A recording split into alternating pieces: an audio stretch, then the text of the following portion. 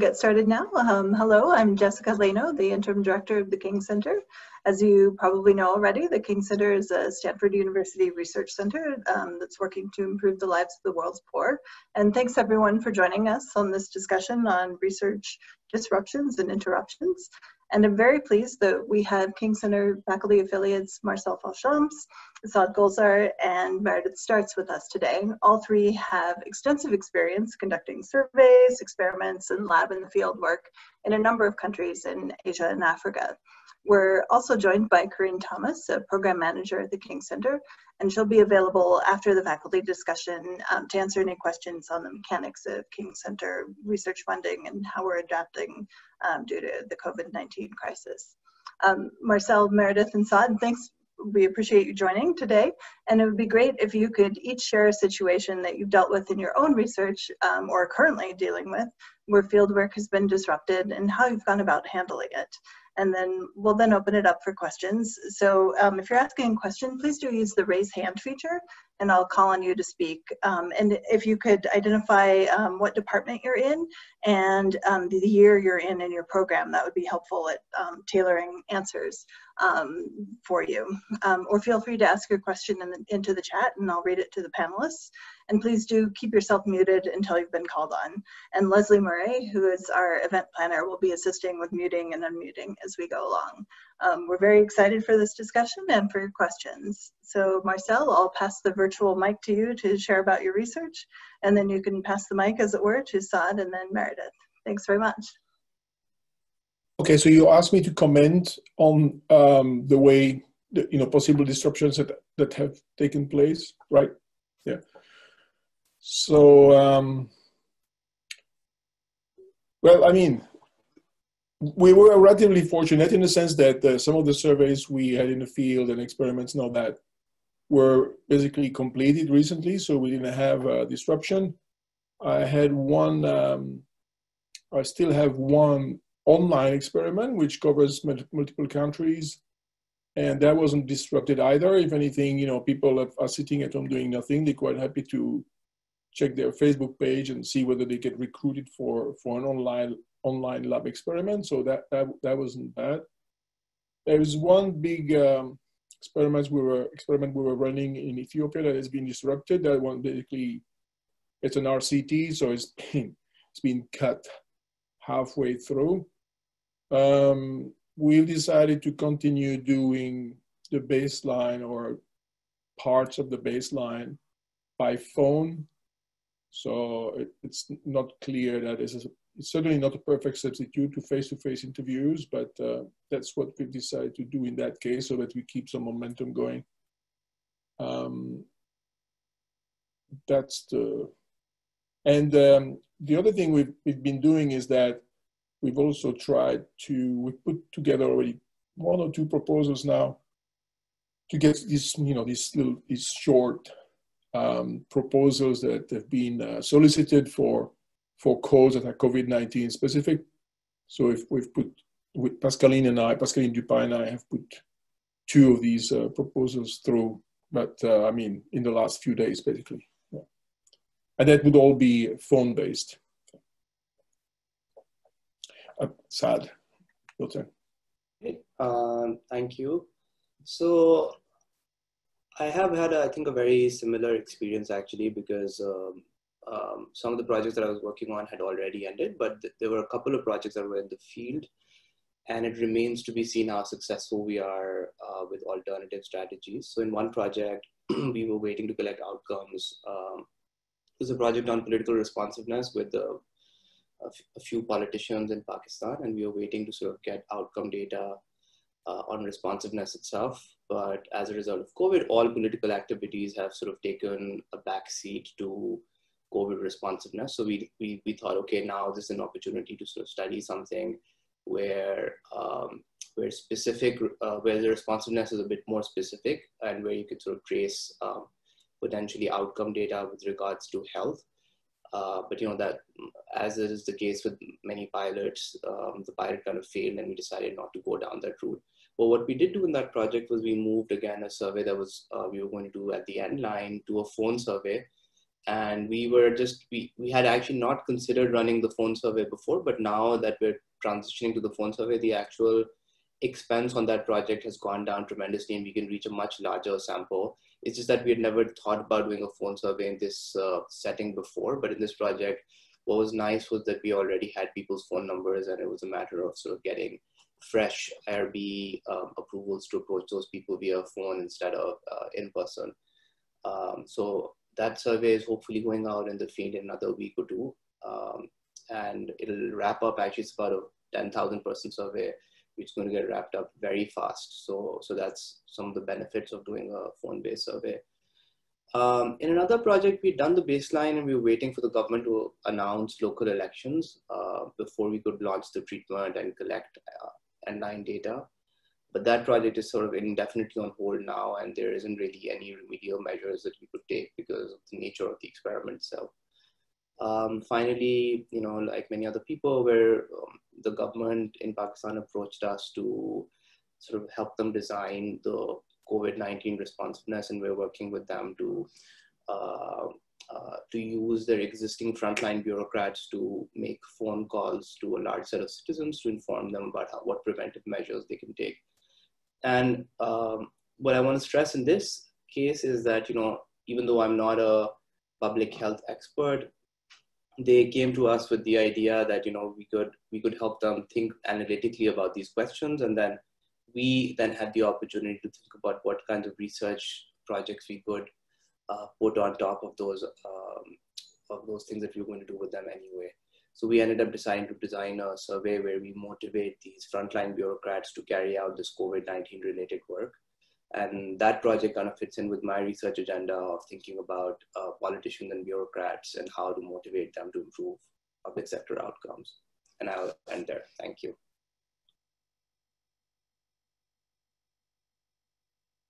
Yeah, so Thanks, Jessica, for convening this. I'm interested to hear how everybody else is managing things um, as well. Um, so for me, I had four projects that were either actively uh, in fieldwork mode or about to be when this all hit. And so two of them um, in two different countries were field experiments where kind of the nature of the intervention, like Saad was saying, made, made it pretty hard to think about how we could keep going under current circumstances. So in one, you know, we needed to actually be taking samples of agricultural products to get tested, and we can't really do that if we can't be out in the field and moving around. Um, and in the other one, we were in the process of marketing a new financial product in um, markets in Nigeria, and we couldn't really responsibly have our marketers moving around in markets, even before um, Lagos got completely locked down, which obviously also also makes that impossible. So um, on the first project, we've basically put the fieldwork component on indefinite hold, but we had pretty extensive um, pilot survey data that to be perfectly frank, it's probably going to benefit the project in the long run if we spend a little bit more time digging into that data and being really thoughtful about what it does and doesn't do for us and how we want to adjust things before the baseline you know, a lot of field projects realistically end up happening on a, a pretty high speed timeline. And there are things that just get missed because you need to move ahead. And so, you know, while it's not great for this project to be put on hold for so long, um, especially since it's not like we can get going as soon as, um, you know, restrictions are lifted because it's something that's kind of timed for agricultural harvest seasons. So really, we're going to have to wait probably more than another full year to get going again. But I do think that like taking the time um, to sit back and have RAs and me working more on pilot data analysis and thinking really hard and coming up with kind of a bulletproof pre-analysis plan um, and so on probably will have benefits for the project.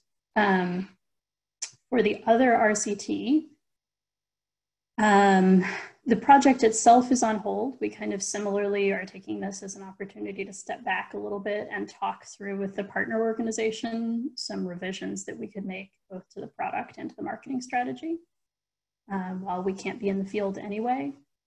And that project also sort of uh, coincidentally got hit by another bad shock right before all of this started. So one of the main markets we were working in got uh, partially demolished by the government. So we were going to have to kind of switch locations anyway. Um, but one thing that we're thinking about doing now is kind of a, a, a spin-off project, um, trying to do what we were already thinking about phone survey-based follow-up with uh, the traders in that market who we had already done a baseline with. And so we already had contact information and kind of look at the impact of the market demolition on them with a, some kind of fairly simple difference in difference sort of design. Um, so I guess that's, that's sort of the, the directions we're going on the projects that had interventions. The other two projects in theory could keep going with phone-based surveys. In one of them, um, we didn't have a sample frame already set. And so we didn't really have pre-existing contact information for respondents. And so, you know, while if this had happened three months later, we probably would have been set to do a big phone survey. We're not. And so that is just purely on indefinite hold. The fourth project, um, we were pretty lucky that this was a group of traders in Nigeria that we've been following for about five years. So we'd done multiple rounds of in-person surveys with them already, and we had kind of an established relationship and a field team on the ground. And so they've fully transitioned to doing high frequency weekly phone surveys with those traders. And part of that is targeted at sort of just some descriptive things about how coronavirus is impacting them and their businesses, but some of it is also looking at kind of interactions with the topics we were already interested in um, about their sort of remote purchasing from suppliers all over the world and how their buyer and seller relationships look. Um, so that one is going ahead in kind of an altered form, but very active.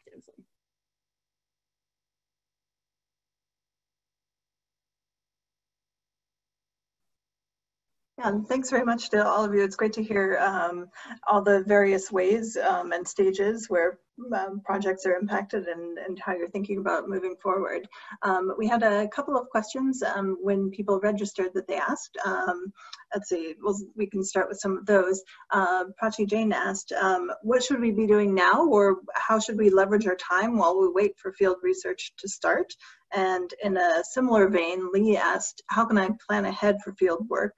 Despite the uncertainty of when I'll be able to travel. Um, appreciate your thoughts on, on these questions.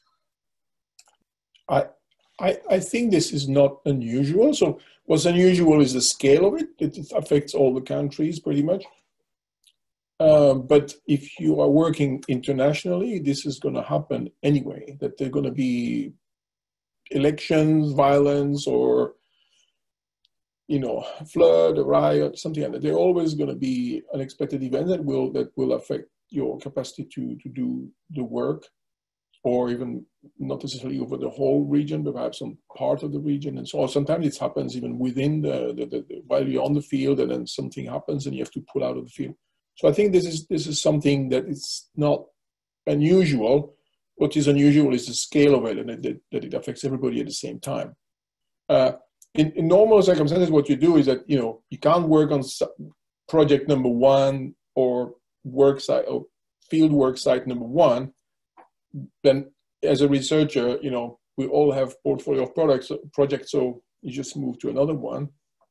Um, of course, as a PhD student, typically you, you, are not going to have a portfolio. You have one or, or two maybe. So then it, it, it's it's it's less it's, it's, more problematic to adjust. Besides, you have also a very tight uh, time schedule, I suppose. So I guess, but but you know, when you enter the the, the when you you you set yourself for, for, for doing international work, in, in, a sense, that risk was already there from the beginning. The risk that maybe the site you, you had chosen or the topic you had chosen would suddenly close down. So, so I think that the, the, the flexibility is, is, is the name of the game here. You, you have to, um, to adjust to the to the circumstances i would say. So adjustment can be that you um, move online which is or, or, on the phone which is what we've already been discussing. Um, you, you might have other other alternatives using observational data or using data that somebody has already collected before.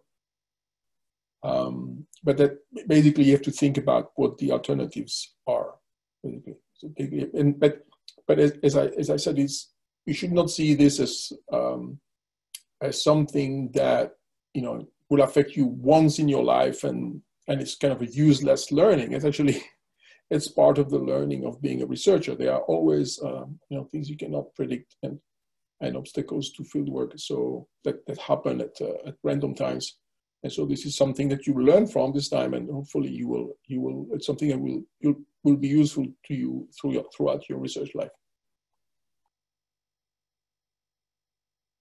I just add that um, you know, as Marcel said, this, this is this will happen if you're doing field research. So uh, there are two or three strategies that I had in mind to help you cope with this. I mean, one is to think of it as something that you might encounter in any field research. Uh, but one way to, to, to cope with the thing like this is to diversify your portfolio and add secondary data projects uh, if they don't already exist. And you know, saying that is as easy. Sometimes it's hard to think about. You know, if you're if you're only thinking in terms of a field-based project, might be hard to think about what might be things that are in your um, vicinity that you can work on with secondary data.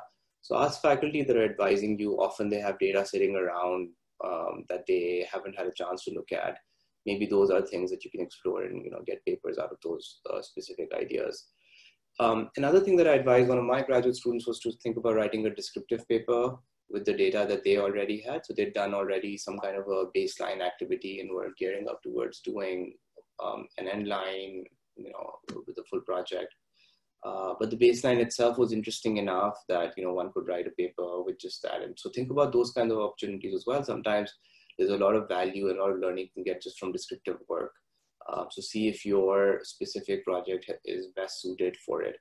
Another thing that Meredith said, I think, which is uh, extremely important, is this is think of this also as helping you um, take a wider look at your existing portfolio.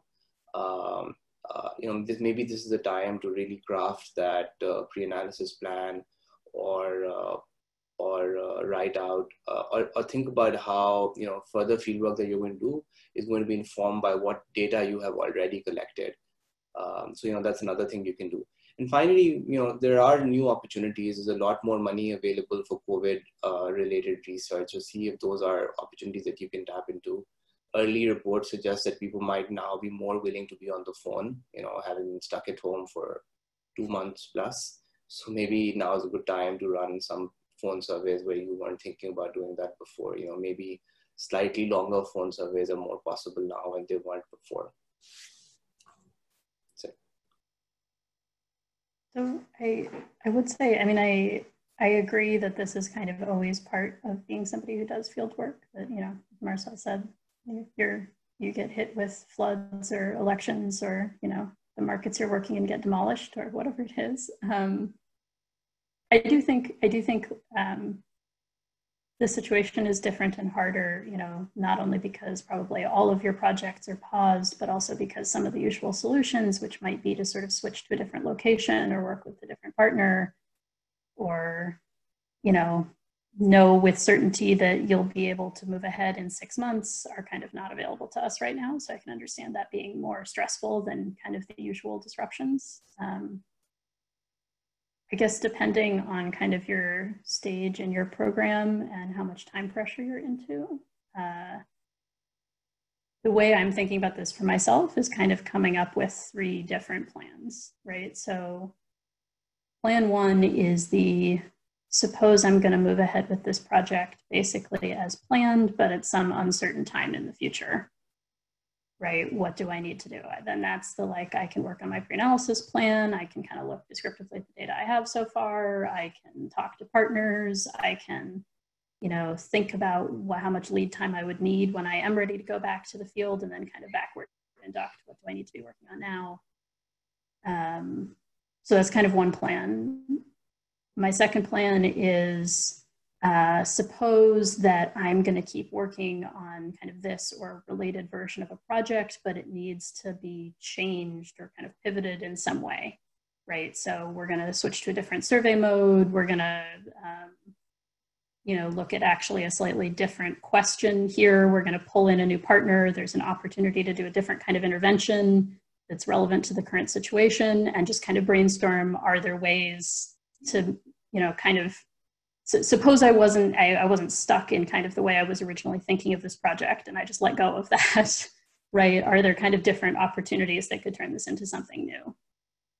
Um, and then I guess my third contingency plan, which is probably more relevant for you guys as PhD students than it is for me at the moment, is the like, what if we really can't do field work for another year or two years? I mean, I hate to say that, but I, that's not totally outside the realm of possibility. And then I guess you need a real contingency plan, which is sort of suppose your your job market paper or whatever the equivalent for uh, people in not in economics. Sorry, I don't know what the kind of capstone thing you're looking toward is, but suppose you really couldn't do field work for the next year at all. Um, what could you do? And some of that might be like Saad was saying, like take another look at existing data sources, um, think creatively about something really different. And that I guess thinking about that is probably gonna suck a little bit, but I, I would have that in your back pocket just so that you know you can handle it and you don't have to freak out quite so much about the level of uncertainty we're dealing with right now about when restrictions would be lifted. Can I can I jump in and because I, I was listening to those two and uh, and um, they gave me some couple more ideas um, about this particular question and thinking about uh, PhD students uh, more specifically.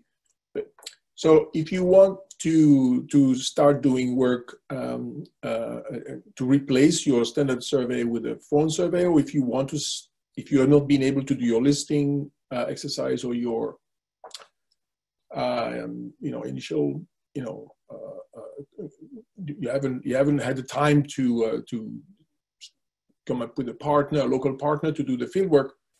So I would say in those cases, um, one of the as part of your strategy of, of, of realignment, you, you join forces. You, you find someone who already has the contacts, maybe already has an activity on the ground, who already has a, a team that can do phone surveys. And because, you know, pr the practicalities of doing the phone surveys are immediate. I mean, you know, how do you actually do a phone survey if you don't have the local infrastructure to, to do it? You, you need some people locally to be able to call, who can do that properly, can be relied on, can be paid, and so on and so forth.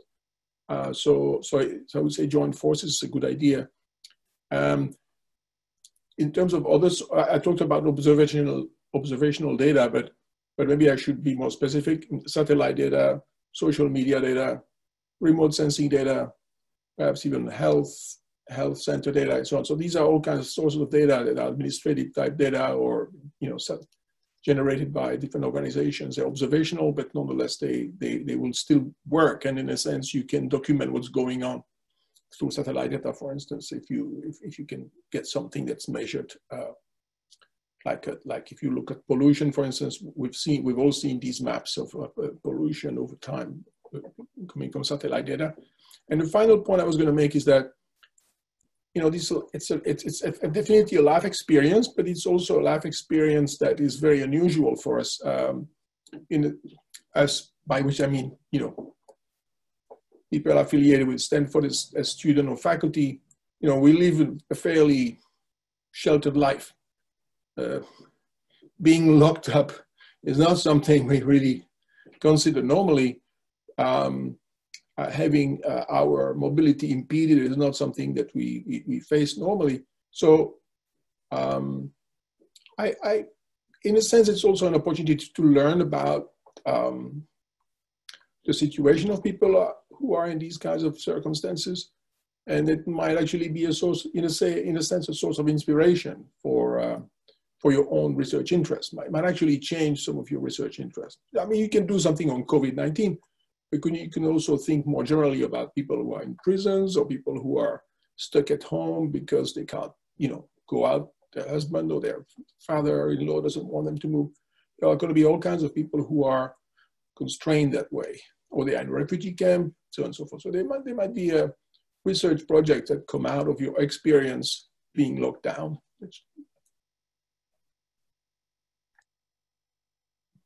Thanks, everyone. Um, And uh, Jessica, uh, yep. sorry, can I add one more thing? I realized we kind of forgot about the second question that you um, that you had listed under the first thing. So just, I think somebody had been asking, like, how do you plan given this uncertainty about when we're going to be able to travel and things? And I, I'm not sure if this was how the question is meant, but I I was taking that sort of like literally, we don't know when we're going to be able to like fly to our field locations.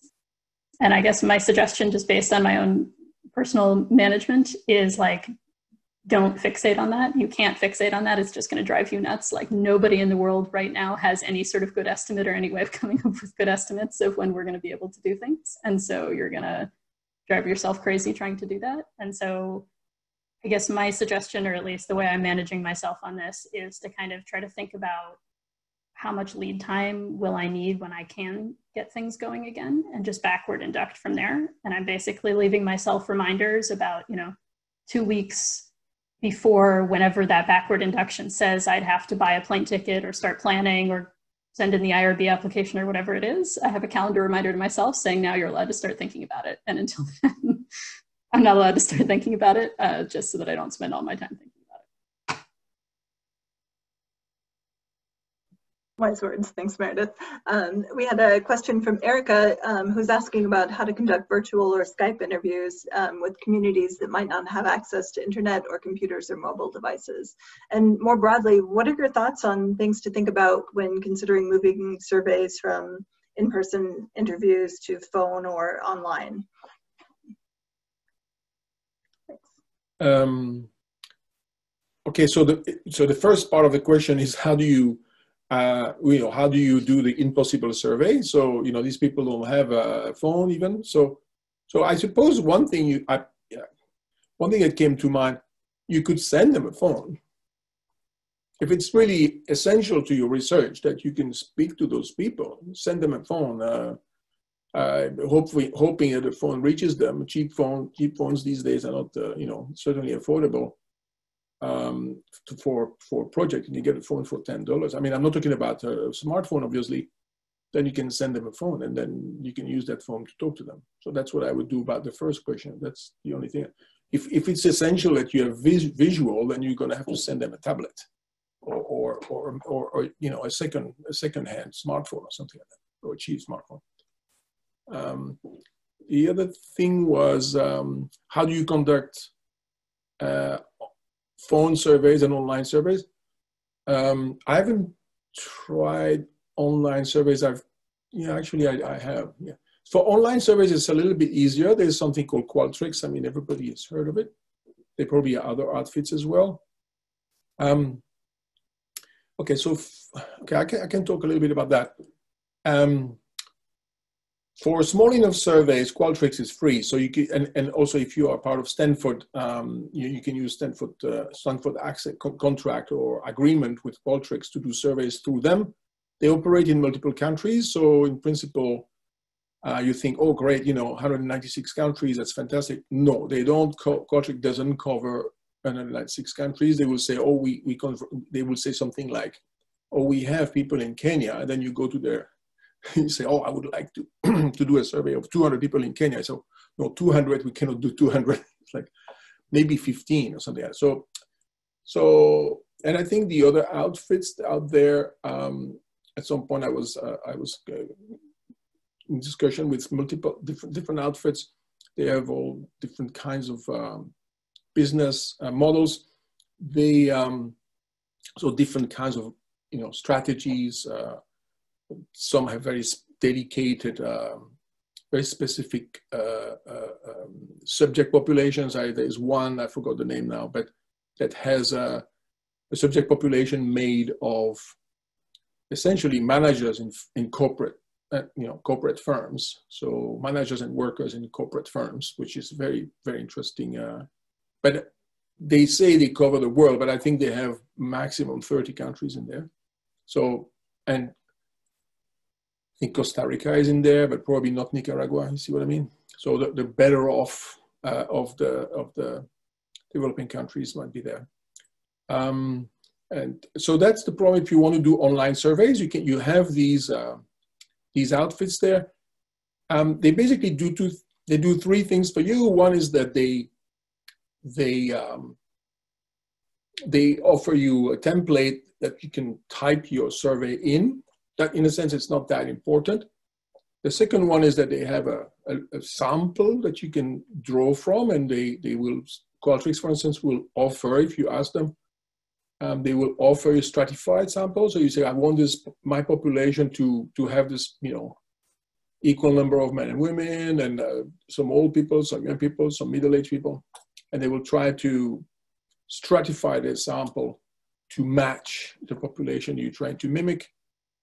Um, of course, you know, this is still going to be uh, drawn from a relatively small uh, subject pool. So it's more like, you think of it more like a, an experiment, a lab experiment subject pool. It's a, it's a selected pool. Um, the, and the third thing they will, they will do, which is kind of interesting for, for me, they will pay the subjects, okay? Pay the subject. It turns out this is by far the hardest thing to do if you want to do it by yourself. Paying subject is very, very, very complicated. Um, uh, you can you can pay subjects with Mechanical Turk, but then the, the, the, that only operates uh, in the U.S. and India, basically. I've done yeah, that's that's easy to use actually, but it's only the U.S. and India. Um, there there are some other smaller operators there. Um, Prolific Academic, I think, is one of them.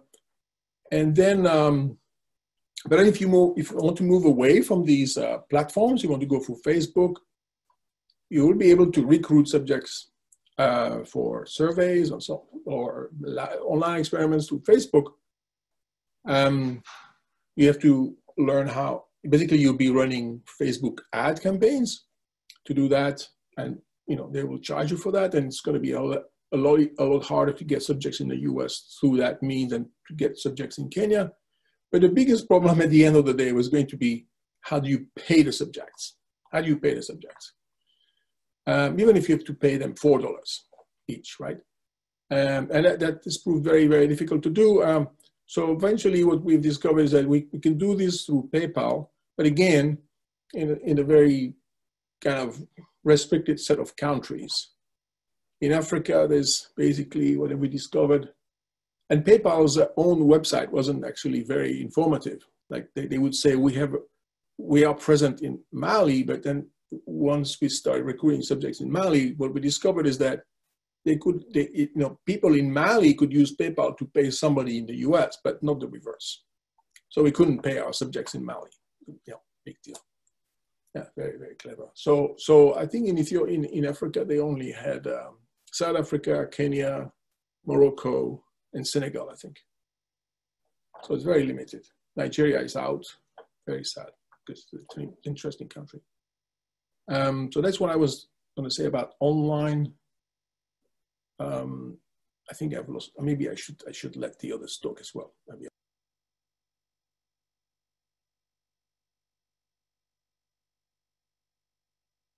Yeah, I mean, I'm not. I'm not.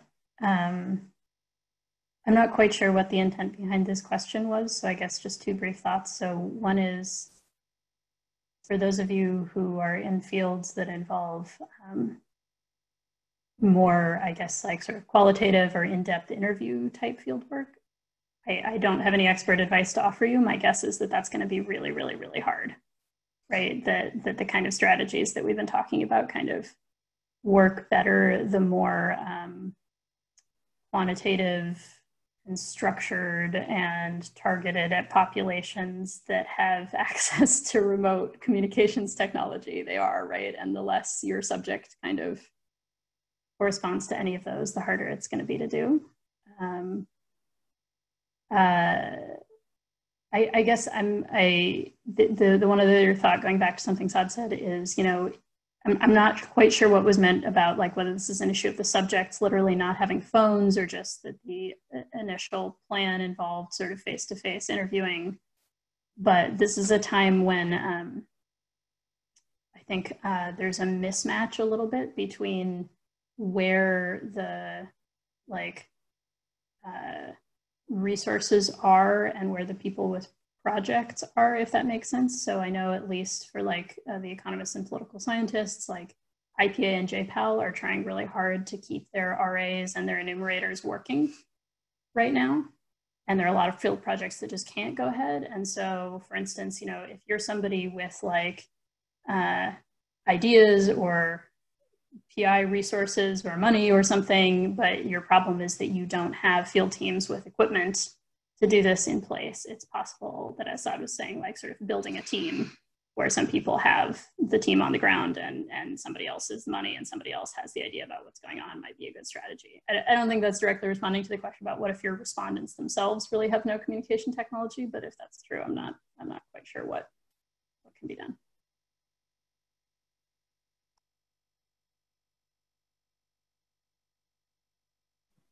Thanks. Uh, Saad, any thoughts on um, phone interviews or as well, since I know you're doing some? um, nothing beyond what's already been said, but uh, yeah, I haven't actually done the phone surveys yet. So it's my understanding, is, at least in the context of Pakistan, people are often surprised. I think more than 95% of the people have phone numbers. Um, 70% of them pick up the phone when you call them. So getting access to people on the phone is a lot easier than what is commonly assumed. Um, people even answer IVR calls, about 25% of the, of, of the people not conditioning on who picks up the phone answer, answer phones. So, you know, phone surveys are um, more possible, at least in the context that I'm working in, than what I had assumed myself in the past, and definitely way more than what reviewers assume. Um, so yeah, so don't discount that as an option, I would say. Thanks. Um, and looks like uh, Nick Lyon has a question. Uh, Leslie, can you unmute him?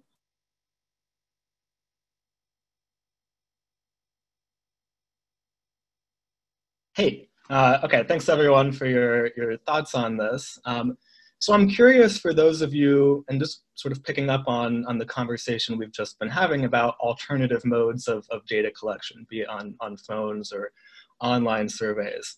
I'm, I'm curious about your thoughts about what data collection during this time even means in terms of what that data is telling us, right? So I think, you know, just to take the United States as an example, for all of these different outcomes that we care about, be it in, you know, any, any of our social science fields about development, you know, be it food consumption, labor force participation, you know, trade levels, you know, we think we might, we, we might think all of these will be affected by coronavirus in some sort of way, right? Current unemployment in the US just speaks to this, right? And I think we imagine this affects different countries in different sorts of ways. So for those of you who are continuing your data collection during this time and realizing that some of you have pivoted towards outcomes that seem more relevant to the current situation, if, if you have any projects for which you're currently collecting data still in a way that you know we want to speak to normal times, whatever that means, how are you thinking about data collection during this time and what measurement even means? And then perhaps an analog to this question is for those of you who have suspended end lines, you know, when might you be, like, what are some of the signals you might be looking for in terms of resuming data collection and thinking about that data collection as, as representing something that at all approximates normal?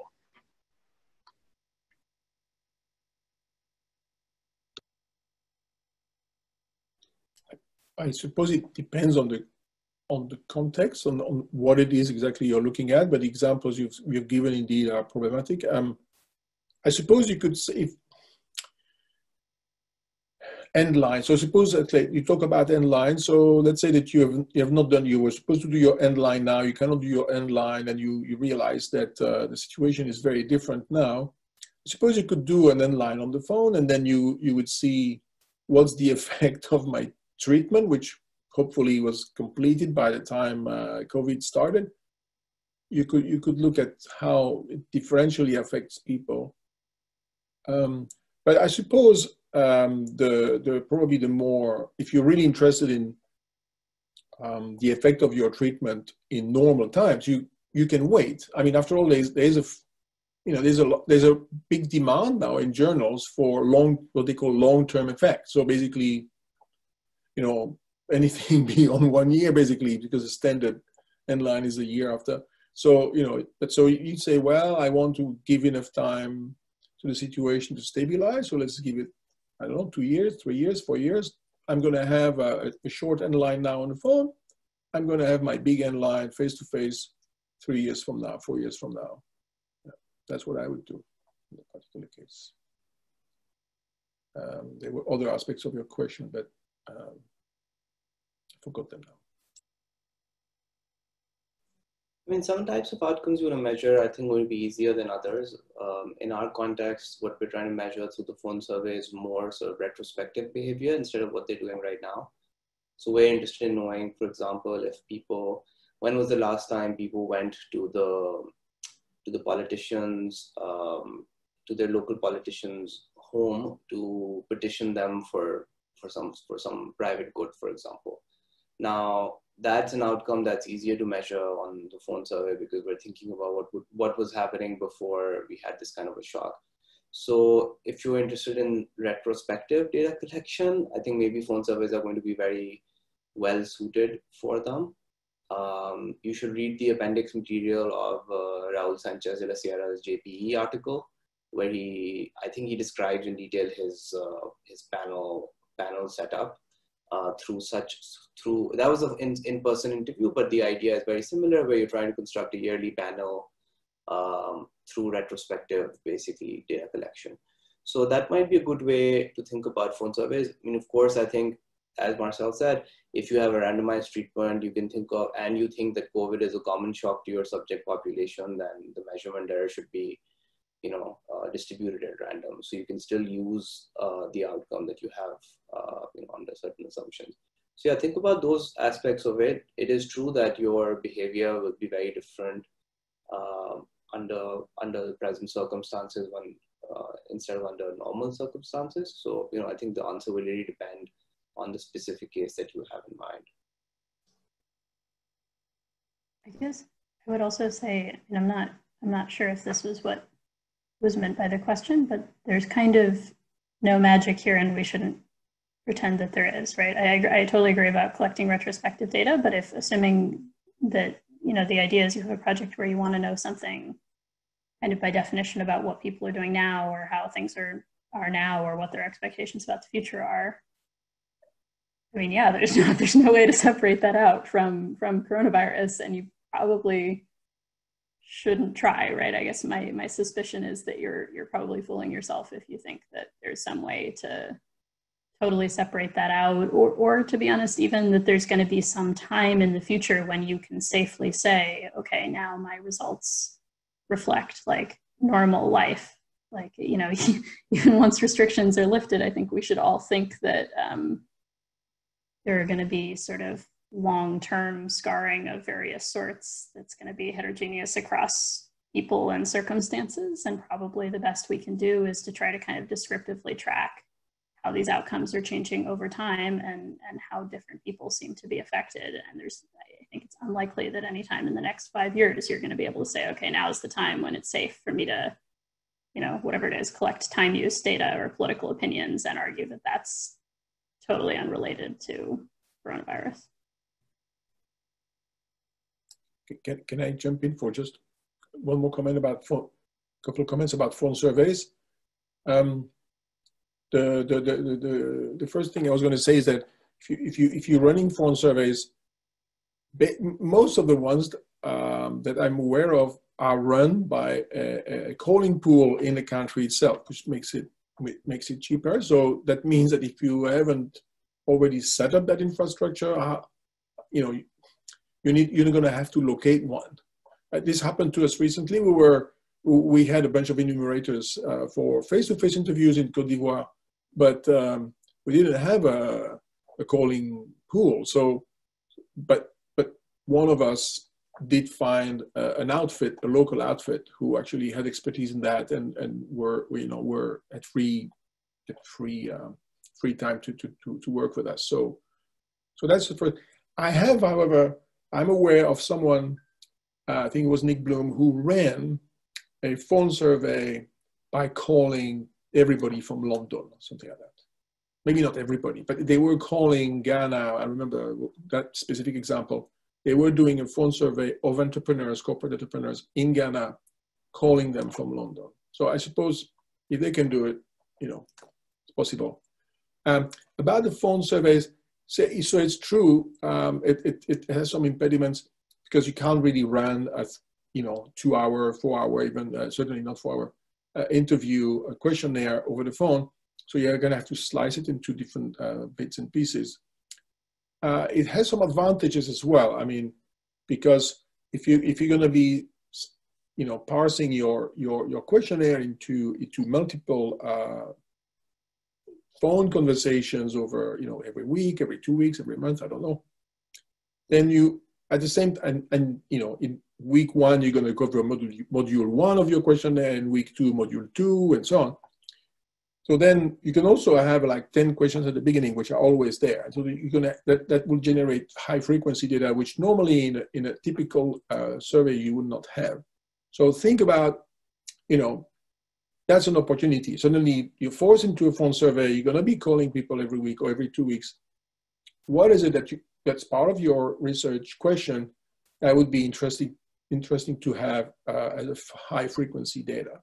And typically there, there is some high frequency aspect that you might be interested in getting. Of course, it's going to be during COVID, but um, um, there was one more thing I was going to say. Um, right, so if you're going to have, so the final thing I was going to suggest is that, so if you have a, a questionnaire, let's say you have uh, module one and module two, and so phone survey maximum, maximums half an hour, I would say.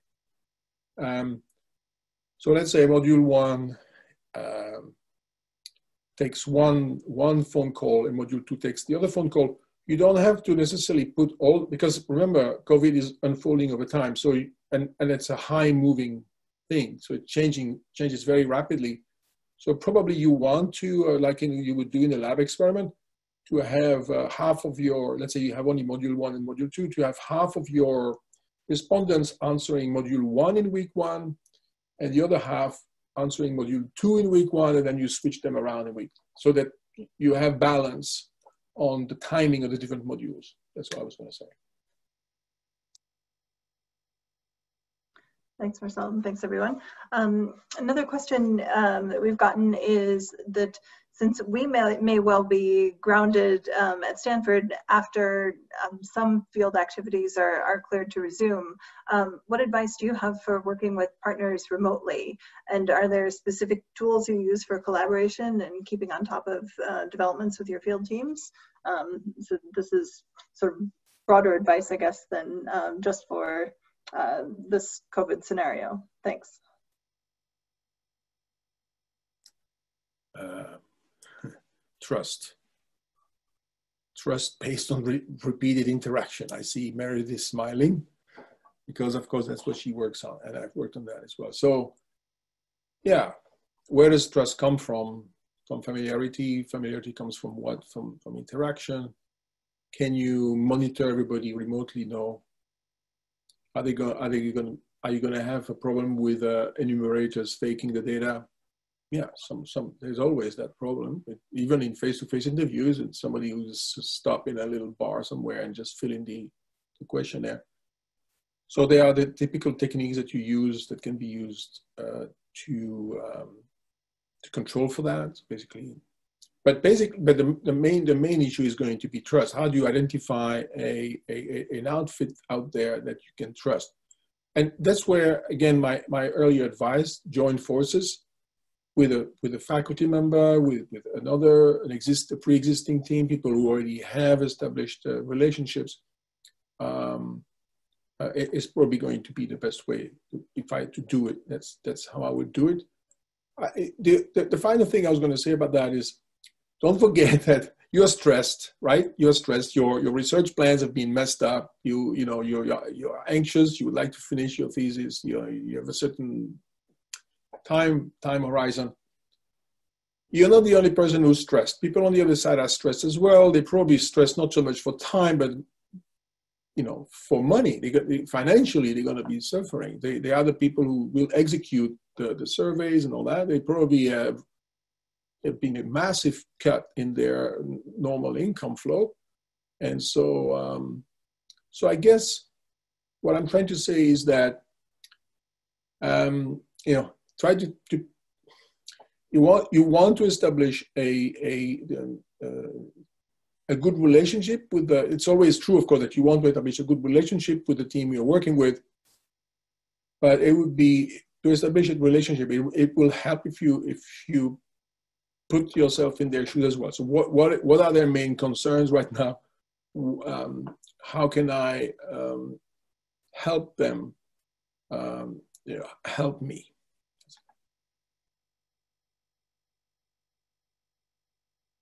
The other thing I'll add is um, um, maybe now is a good time to just informally chat with people you know in the areas that you're working in, you know. And sometimes those conversations, when you're not doing them under pressure of a specific project, can also yield some interesting ideas. Um, and in any case, those are the people that you should be relying on for uh, to determine when it, when is it feasible to resume work, even if you as a Stanford affiliate cannot travel. When is it ethical to resume work given local circumstances? Um, so yeah, to it's all. I think it always is nice if you if you have local people that you are in regular touch with. If you are from that area yourself, you know, have have conversations with people who are based there, even if you are not, and uh, take lead from them.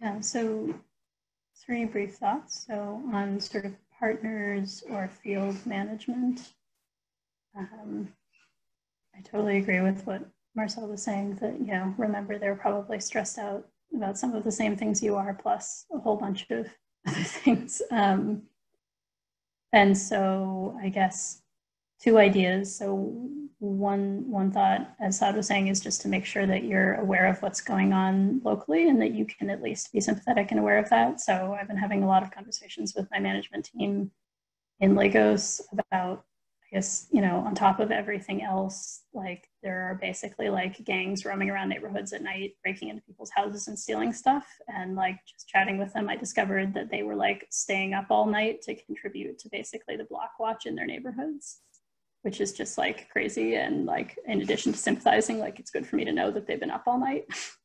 right. Um, and I guess the second thought, maybe more with sort of external partners than your internal team, is right now there might be things that you can do for them that don't directly to contribute to your research but would actually be really helpful to them and are good for relationship building right? So like if you have partners in government or ngos like something that might just be trivial to you like putting together a two pager with some descriptive data analysis or like pulling some official statistics off of some website or international organization and putting it together for them like they might actually really appreciate something like that because they have to report to funders or they have to make decisions really quickly. And like data analysis is easy for you and hard for them.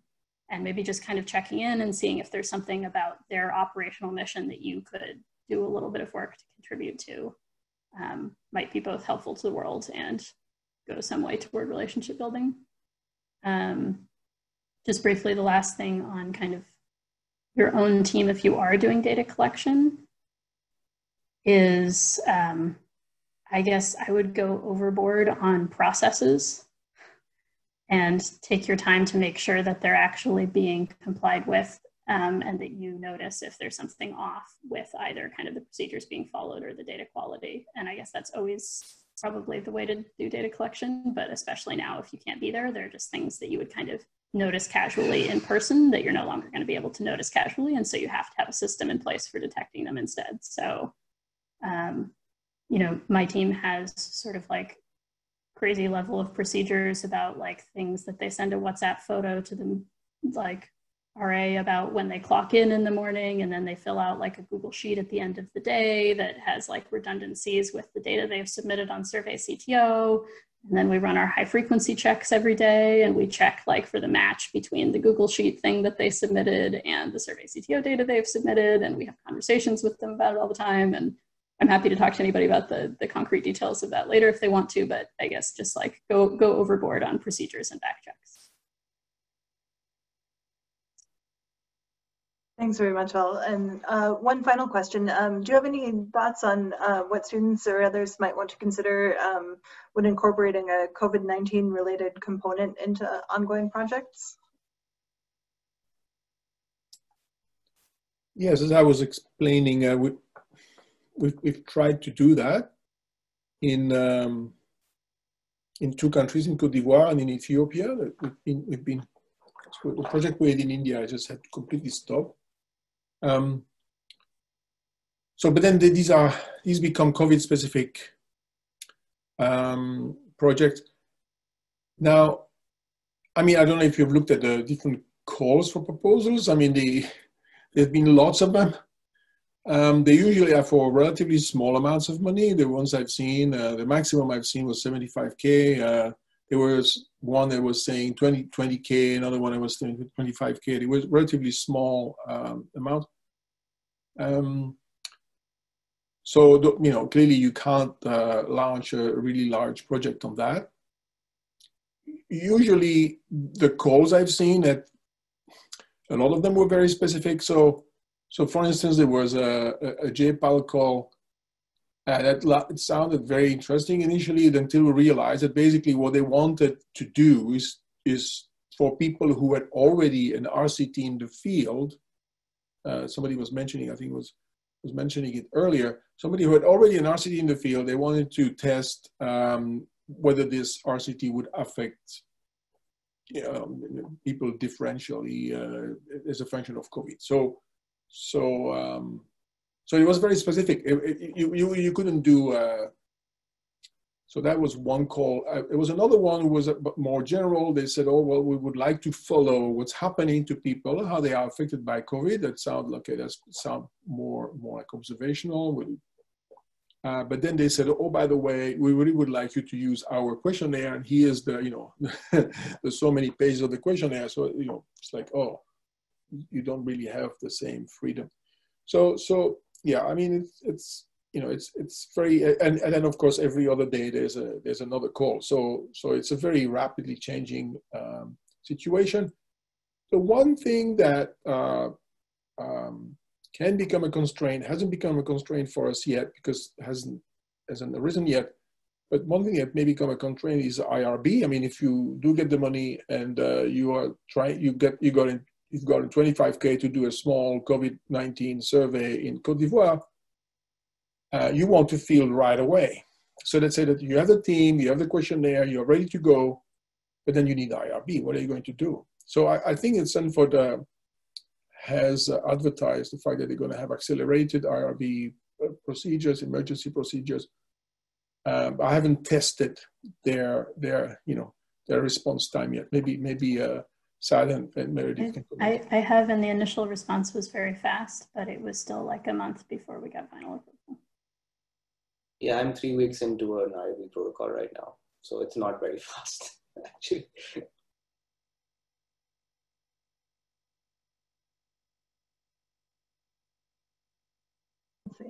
Um, so this is, it's uh, three o'clock now, so I just wanted to, to wrap up and um, Marcel, Meredith and Saad, uh, greatly appreciate you joining us today. Um, and thanks very much to, to everyone else for, for joining as well.